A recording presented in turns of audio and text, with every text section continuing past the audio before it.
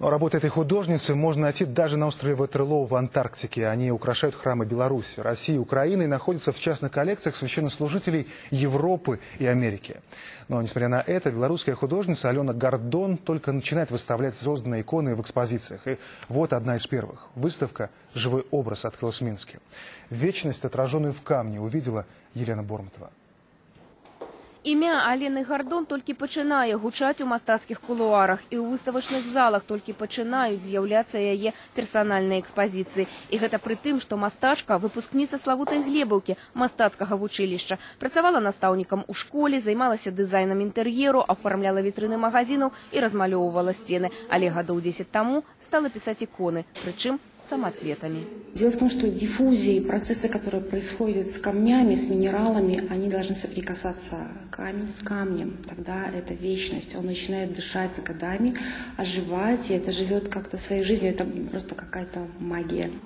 Тэхніка, у якой працуе мастачка, называецца мінеральным россыпам, аўтарскае ноу-хау. Штосьці падобнае робяць майстры камнерэзнага мастацтва, але камяні там дробяць на кавалкі. Тут жа паўкаштоўныя камяні на кшталт малахіту, гранату, раданіту змяльчаюць літаральна ў пыл, а гэты пыл і з'яўляецца фарбай для напісання абразоў.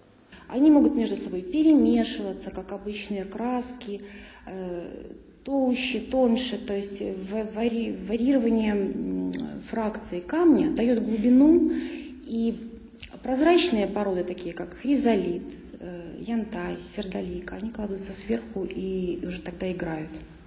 Усе фарбы ствараюцца ўручную, самацветы дробяцца ў ступцы, а затым прасеиваюцца. Жыццёвы цыкл крысталаў супараўнальны з узростам планеты галактык.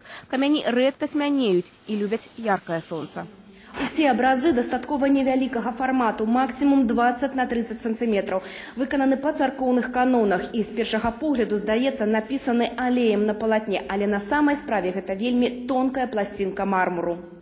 Адна ікона гэта некалькі месяцаў скрупулёзнай працы, бо выява ствараецца са шматлікіх слаёў. Клей на яго пыл самацветаў высыхае і па-новаму, а затым шліфоўка, працірка і дамалёўка дэталяў. Пластиночка мрамора на ней я карандашиком, допустим, рисую глаз, рисую как на бумаге. Делаю подмалевок, как в живописи. Подмалевок я делаю пылью с водичкой, то есть она уже как акварель. Для работы мастачка выкарыстоўвае стаматалагічныя іголкі і шліфавальнай машынкі. Замацоўваецца абраз каўчэгам з дрэва. Нават пры падзенні ён не разаб'ецца. Але набор матава Віталь Сяляўка, агентства Теленавін.